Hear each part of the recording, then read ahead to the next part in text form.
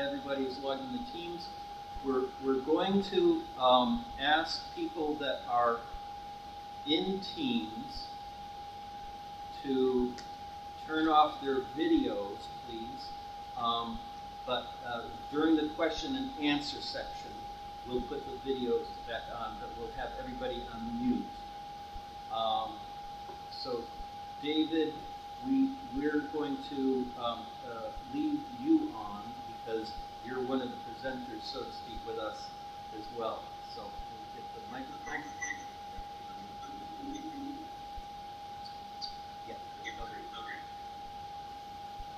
Your mic, your mic, your mic. But your, but your.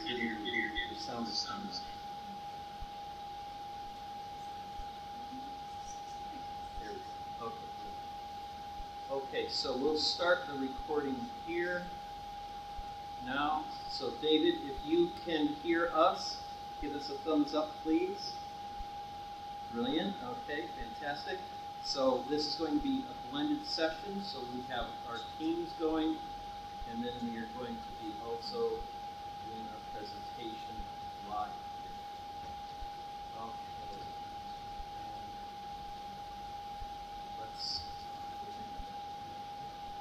let's start the presentation.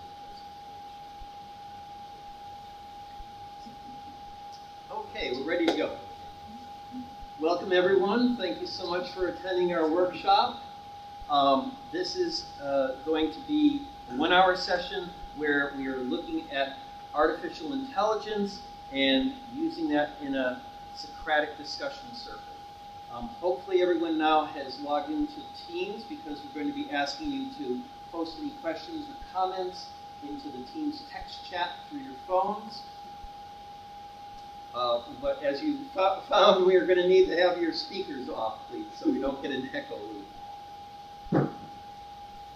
Uh, Socratic discussion means that what we're trying to do is not have this as a lecture with a talking head, but we're simulating a circle discussion that Socrates would have with an open ended problem. And the topic is going to be the issues around the conference theme of learning technologies. What's the future? Hopefully, everyone's been able to log into the, our Klaxoon um, account, and uh, we want to introduce Sam, who is our representative, our corporate uh, partner in this. So we'll be doing our voting. We'll explain a little bit more about that in a minute um, for each section of our presentation. Well,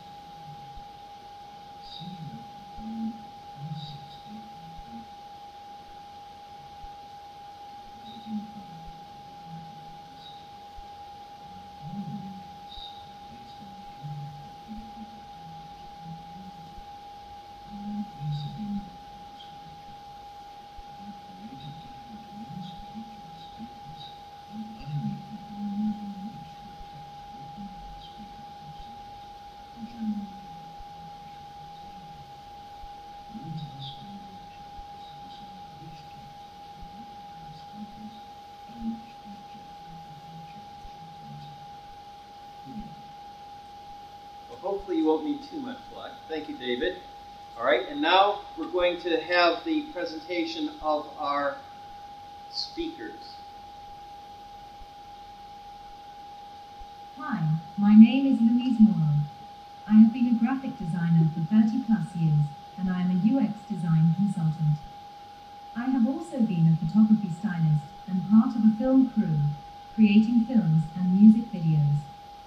My hobbies are trying to fix my cars, riding my BMX and downhill bike, and growing fruit and vegetables. I work full time as a senior lecturer in music and multimedia practice, and I freelance for Learning Design Solutions UK. My topics that I will share with you today are the state of the social media mind, who's more mechanical, An AI, friend or foe. I'm Mike Howe. I've spent my life in education as a radio producer, as a writer for children. I've been a video journalist working in higher education with lecturers. I teach student teachers how to write, so I have three professional writer's tricks for you. I suggest using just three skills for good communication is more useful than watching AI rewrite your text. The reason is this. I observe students spend their education listening to the spoken words in their head and trying to turn those spoken sentences into written English for their essays. These experiences lead me to believe understanding how your brain uses both spoken and written English and how you move between the two styles is much more important than watching ChatGPT improving your text. In short, is learning writing skills better than watching ChatGPT do the work? Hi, I am Stephen. I am a qualified and experienced telecoms engineer and systems engineering expert, coupled with experience and qualifications in marketing and education. I can provide uniquely personal insight into the generational and behavioral development of AI systems, having taken part in experiments to test the efficacy of such AI and highlighting its current and future impacts. I studied at the University of Bournemouth and the University of Greenwich and have worked with a range of organisations across the world as well as teaching at Imperial College and King's College, both in London. All right, so now this is the part where you're going to be participating. We're going to go through session one, which is the uh, three uh, of our three topics. And each of the presenters will be giving you their version about the AI and the future tech that we're uh, going to be exploring in this workshop. At the end of the session, then Sam's going to be um, showing you how you can go into the Klaxoon uh, uh, website and be able to then vote on who is human. So after you hear the three presentations, you need to decide you're going to vote, and we'll calculate that, and we'll see at the end if you're right or not. So this is our version of the new Turing test. In contemporary society, ubiquitous engagement with handheld devices is conspicuous. This phenomenon prompts inquiries into the psychological states and cognitive activities of individuals. While some posit that such interactions foster inspiration, collaboration, and community integration, critical questions emerge regarding the extent of genuine learning and creativity facilitated by these technologies. While certain skill developments may be acknowledged, the utility of these proficiencies in securing employment warrants scrutiny. The prevalence of social media platforms further exacerbates tendencies towards impatience, irritability, and cognitive distraction, raising concerns about the compatibility of such attributes with workplace demands. Central to this discourse is an examination of agency within the digital landscape. Will the content creators or algorithms wield greater influence over online experiences is a pertinent inquiry. Algorithms, constituting the backbone of artificial intelligence, AI, orchestrate content personalization through data-driven mechanisms. These algorithms, governed by preset directives, drive AI systems to assimilate information and formulate decisions. The resultant personalized content inundates users, potentially impeding independent cognitive exploration and critical inquiry. Consequently, the reliance on algorithm-driven content consumption prompts reflections on individual capacity for creative thought, discernment between veracity and falsehood, and susceptibility to social comparison induced self-doubt. Amidst these deliberations, the fundamental integrity of personal reality and cognitive autonomy comes under scrutiny. Contemplation on the veracity of information consumed, awareness of individual cognitive processes, and cultivation of inner dialogue become imperative. The prevalence of passive engagement and the blurring of distinctions between authentic experiences and curated digital personas necessitate a reclamation of agency and introspective engagement. This call for cognitive underscores the importance of cultivating an active inner voice, resisting passivity, and embracing boredom as a catalyst for introspection and self-discovery. Everywhere you look, humans have their heads down. Are they sad? Are they afraid of eye contact? No, they are fixated on their smartphones. One may say that they are being inspired, collaborating, belonging to a community. But are they? Are they learning? Are they being creative? One can argue that there is development in learning skills, but are these skills beneficial enough to get them a job? With social media being on demand on their fingertips, humans become impatient, angry, distracted. Are these the right skills to hold down a job? But who is in control of social media? Content creators? Or is it algorithms? Algorithms personalize what you see according to the data they collect. AI is driven by algorithms. They are a set of instructions telling the AI how to perform specific tasks. These tasks enable the AI to learn and make decisions based on data. Is it personalization? Everything is tailored to you, served to you as you scroll through the endless sea of content. Does this not prevent their minds to look for themselves, to research on their own? Are you a creative thinker if you are driven by algorithms? Can you compare the truth between the lies? Do you spend your time comparing your life against others that are seemingly having the best time ever? Self doubt?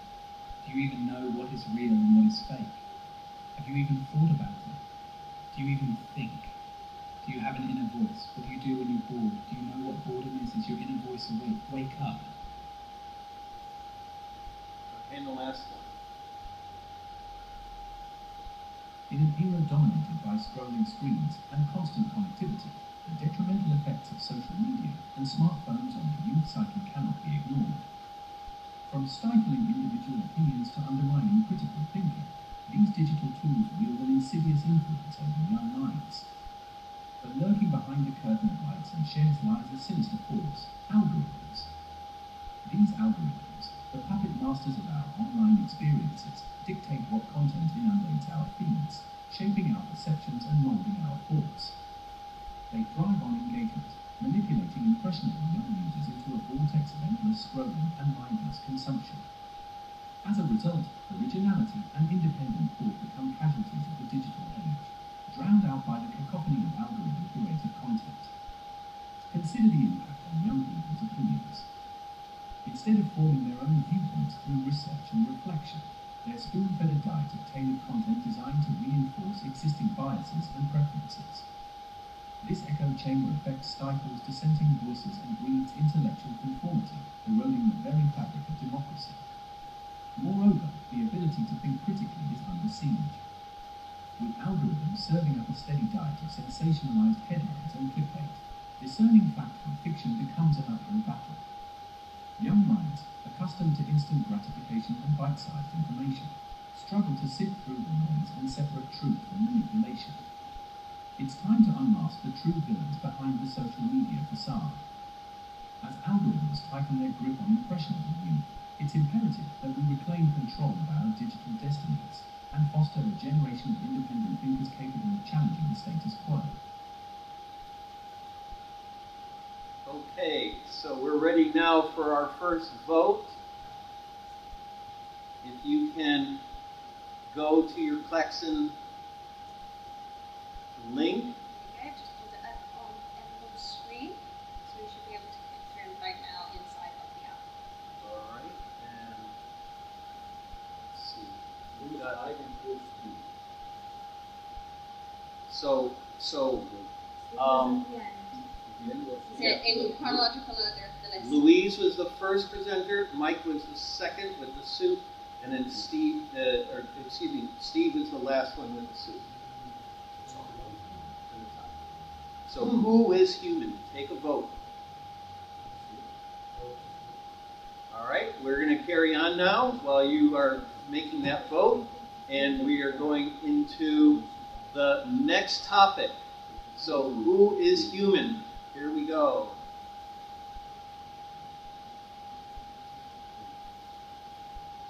Certainly, when it comes to crafting persuasive writing, employing techniques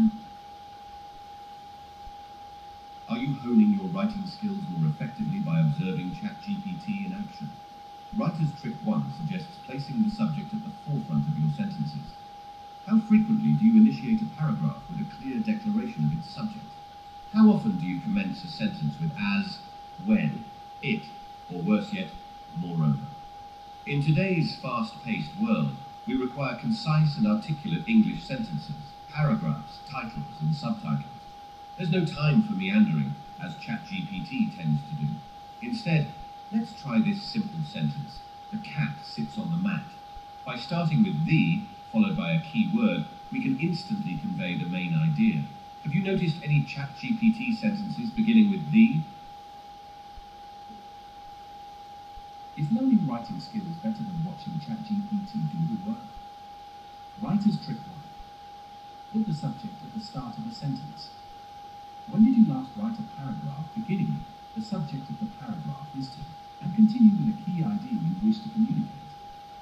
How many times have you started a paragraph such as, one of the subjects I wanted to talk about first was something I thought about last week? It is something around writing clearly and simply. How many times do you start a sentence with this, when, it, or worst of all, moreover? Crisp, clean English sentences, paragraphs, titles and subtitles are what is needed in our busy world. There is no time to ramble as ChatGPT can do. Instead, let's try the following simple sentence. The cat sits on the mat. The cat is the subject. The subject at the beginning of a sentence is the natural way we speak and we write. Put the at the beginning of the sentence and make the next word a key word. The main idea you want to communicate and everyone knows what you are talking about right away. Try spotting a key idea at the start of ChatGPT sentences. Do any of them start with them? Okay, take a look at that one, and we are going to go to our next Klaxoon vote. Yep. Oh, yeah. Okay, all right. And so again, if you think that the human presentation was Louise, Louise, Mike, and Steve. At the end, we're going to be tallying up everyone's vote, and then we'll show you the actual real presentations. Okay. And let's carry on to the last topic now.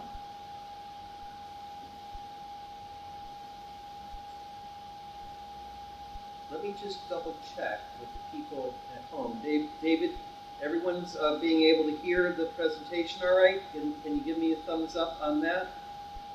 Good, okay. I just wanted to double check uh, before we get to the end. Here we go. Last uh, topic, number three.